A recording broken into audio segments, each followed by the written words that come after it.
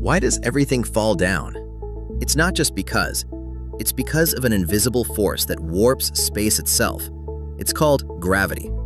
Gravity is what keeps your feet on the ground and the planets in orbit. But it's not a pull like a rope. It's more like a giant invisible trampoline. Imagine space is that trampoline. The Earth is a heavy bowling ball sitting in the middle. The bowling ball makes the trampoline dip and curve. That curve is gravity. When you roll a marble, that's the moon, near the bowling ball, that's the Earth, it doesn't get pulled.